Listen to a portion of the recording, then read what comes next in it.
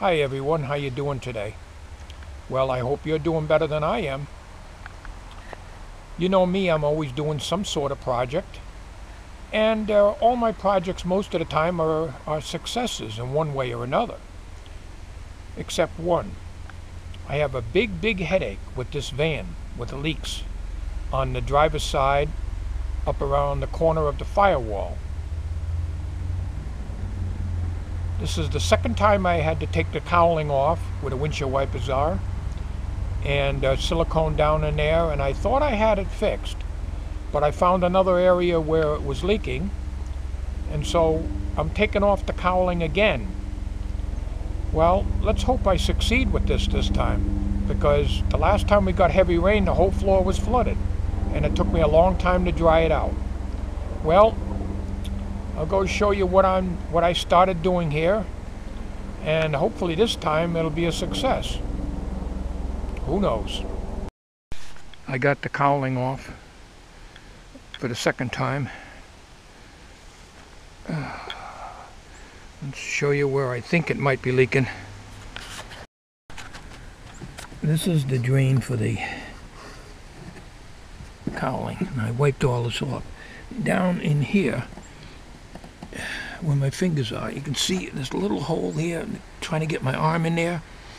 And it ain't working too good. So I get this hole here. I just moved the wipers out of the way here. On the edge of this is like a one inch. It goes in about one inch. It's almost like a drip edge on a on a house. And I feel a at the, at the other end here a hole but it's not really a hole where it's rotted. It seems to be just a uh, an opening that shouldn't be there. So I'm going to take some of this duct seal here. Now, I got this from the hardware store. This is the stuff that, that he told me at the hardware store that they use, electricians use it when the entrance cable to keep the water from coming into the house. And I checked with the uh, a local guy, the body shop, and he says, yeah, that's okay. You can use this. Uh, he's going to check out the van, van for me.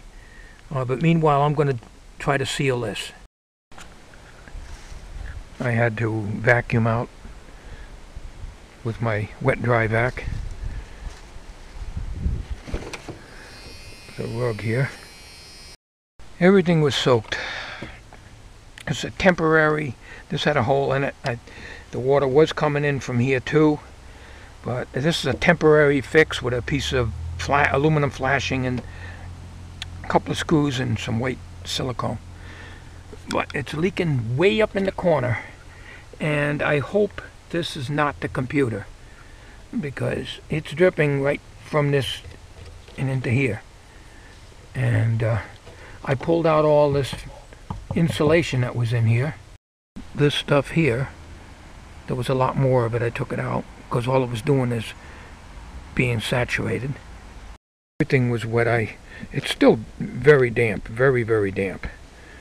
And I vacuumed everything. I don't know, I should just cut this rug out of here and just paint the floor or what to do. But if I can't get this thing fixed before winter, we're going to be in big trouble because I'm going to be scraping the inside of the windshield with a damn ice scraper, just like it did on the old 70 Dodge Polara that we had years ago. I um, have a little plastic bottle that I cut in half and stuck up underneath behind this wire and it would catch the water but of course it would overflow and flood the area. Oh, if that if I can't stop the leak I'm going to take some galvanized sheet metal and make a trough. The silicone it here, make a trough drill a hole out here and let it run outside. This is nothing I can do and just hope that it's not running on that in this computer here. There is nothing else I can do. I tried getting this emergency brake out to get up in there. Um, it's a monstrous job and the screws way up underneath, bolts up underneath. I can't deal with that with my poor eyesight and uh, it's going to be one of these things where I won't be able to get the bolts back in again. It'll all be loose. So I got to try to seal it from the outside and hopefully I can do it. Your drain runs down here on the channel and comes out out here underneath. There's a there's a square opening right here. Water comes down here. But it goes down in here. You can probably see it way up in there behind the hinges so when it was running down it was leaking out of here because there's a hole right here where my little finger is. But I didn't realize it was leaking up in here so I also use clear silicone around the windshield wiper motor. And this black stuff here is the duct seal I guess that got hard or something. So I just siliconed it around but down at the bottom here I didn't have enough silicone so I'm gonna I got some white silicone I'm just gonna put some in there. But I'm gonna go and take care of this edging first. Where my finger is is the edge of the cowling drain. As you can see the cowling goes all the way to the other end but it seems to be capped off at that end. Over at this end this is the antenna wire here it seems to have a cap on it although there is a drain on this side too um, but I'm not having any leaks on the passenger side whatsoever. And it's not coming from here because I can take and pour a bucket of water in here and it'll leak inside. Not even touching the windshield just doing it in the tray here. I put this in here because we're getting the leaves dropping like crazy here. So tomorrow morning I'm supposed to bring this over to this fella that does body work and uh, he's going to look at it but he wanted me to take the cowling off. So since I got the cowling off I'm going to do my uh, duct seal thing. And hopefully it works and try it with a bucket of water. Personally I don't think it'll work. I think the friend is going to have to come out and major major body work to get in there.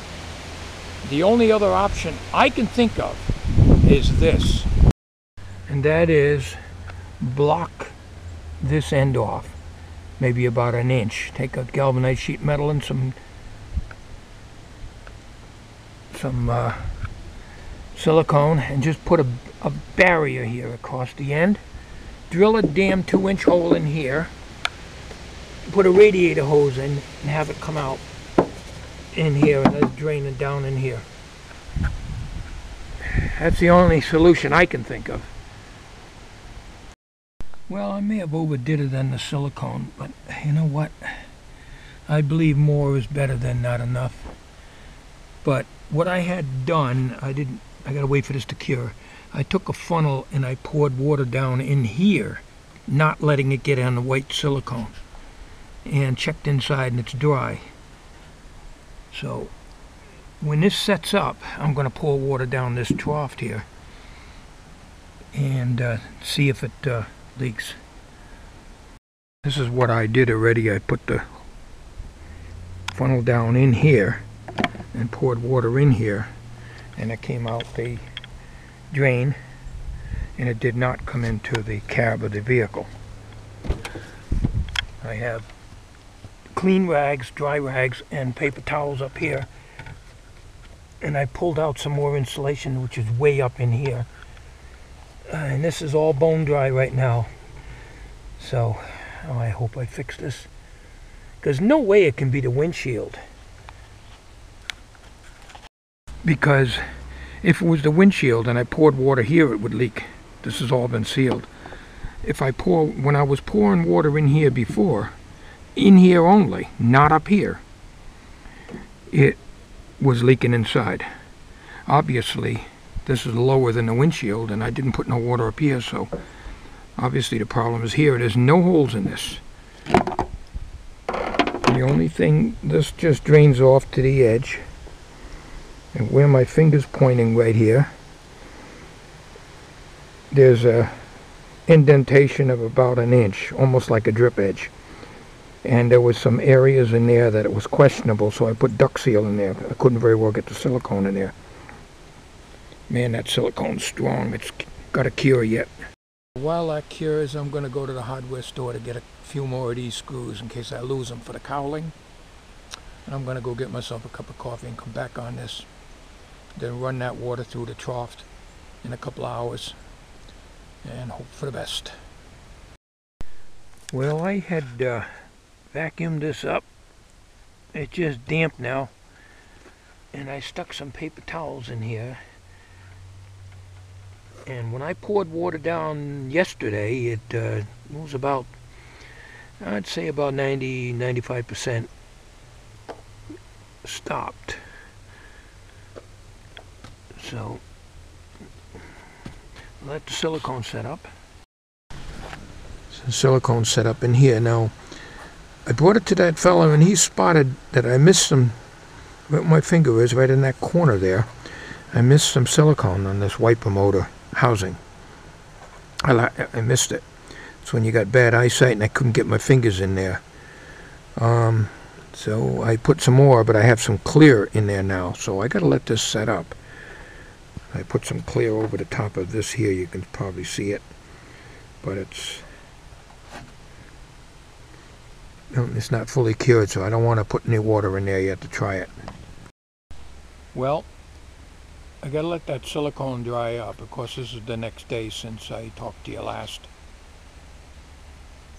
And um, I'm going to be pouring water through there. And I just hope that that does it.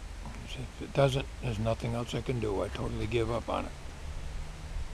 But what I did put in there seemed to have cured it uh, mostly. But the paper towel was still a little wet, so um, got to give this thing at least two hours before I can spend in there for two hours now. But I got, I figure another couple of hours and the silicone should be set up. I can't wait too much longer. It gets dark so damn early now, and you have to work when you get a good day, and you don't get very many good days at the East Coast. I'm telling you right now. You're getting damn rain uh, almost every day. We've had several good days already, and uh, it's almost impossible to accomplish anything. So, anyways, uh, we'll see what happens. All right. Some of you have asked me about fall foliage. Well, with the tro- tropical storm Irene when it came through here, uh, and all that rain and that wind we had yesterday and everything, well, you can see the trees.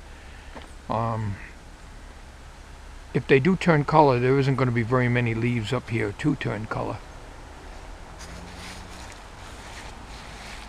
So at this point in time, what is it, the 21st, 22nd of October?